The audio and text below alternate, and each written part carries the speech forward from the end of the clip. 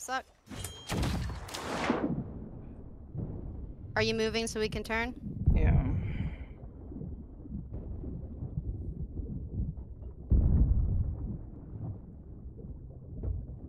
This guy's mad, bro. Yeah, extra mad. You need to guard your ladders.